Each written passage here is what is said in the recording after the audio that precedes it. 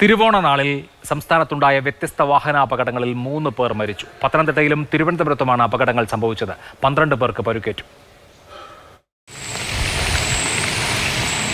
M C റോഡിൽ പന്തളം മാന്തുകയിലുണ്ടായ അപകടത്തിൽ രണ്ടുപേരാണ് മരിച്ചത്.